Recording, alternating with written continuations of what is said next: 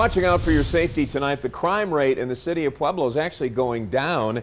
District Attorney Jeff Chostner said during his swearing-in ceremony today that overall crime has dropped 4% compared to 2019. Some of the reasons he said include behavioral health programs, help from the community, and the public safety tax approved by voters in 2017.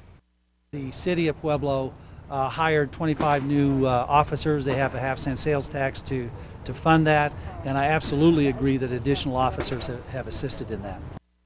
Now, according to the latest data from Pueblo PD, aggravated assault vehicle theft saw the biggest increase, while burglary, larceny, and arson crimes dropped the most.